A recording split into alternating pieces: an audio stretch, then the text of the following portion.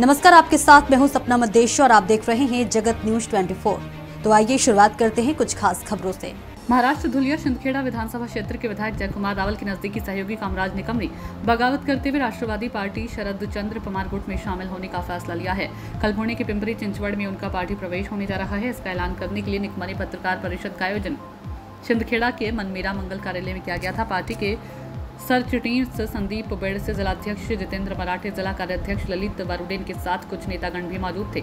अपनी भूमिका बताते हुए कामराज निगमा ने रावल की दहशत निर्माण करने वाली भूमिका सिंचाई शिक्षण एवं कृषि क्षेत्र में पिछड़ता विधानसभा क्षेत्र इस वजह से बगावत किया है, ऐसा कामराज निगम ने कहा। जयकुमार रावल ने 20 साल में कहीं भी विकास का कार्य नहीं किया। कामराज निकम अब की बार उनके खिलाफ प्रचार करते हुए महाविकास गठबंधन का उम्मीदवार चुना जाएगा।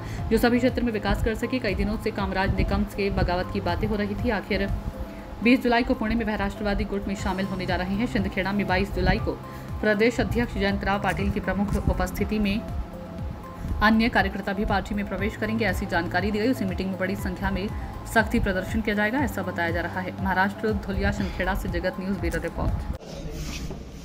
राजकीय जीवनात पहिल्यांदाच पक्ष बदलवतो बत्तीस वर्षात मी पक्ष बदलवतोय तर याचा अर्थ तुम्ही समजून घे माझी प्रामाणिकता किती. अगदी बारा तेरा महिन्यापासून माझा गळा घोटण्याचा प्रयत्न चालू होता तरी मी पक्ष सोडला नाही. लक्षात ठेवा तुम्ही. पक्ष चांगला आहे. पक्ष चांगला नाही आणि माणूस चांगला नाही. मी प्रयत्न करत होतो परंतु तुम्ही जी शंका विचारली त्याला मी उत्तर देतोय. माझ्या आयुष्यात असं होणार नाही. मी ज्याचं काम करेल त्याचं प्रामाणिक करेल. राष्ट्रवादी काँग्रेस पक्षाने झेंडा बांधायला लावला, तरी झेंडा बांधेल. तुम्हाला माहित दोंडाच्या नगरपालिकेच्या पहिल्या इलेक्शन मध्ये दोन हज़ार दोन किंवा तीनचं इलेक्शन असेल. जयकुमार रावल साहेब चालू झाले होते कॉलेजमध्ये पहिलाच फॉर्म भरला होता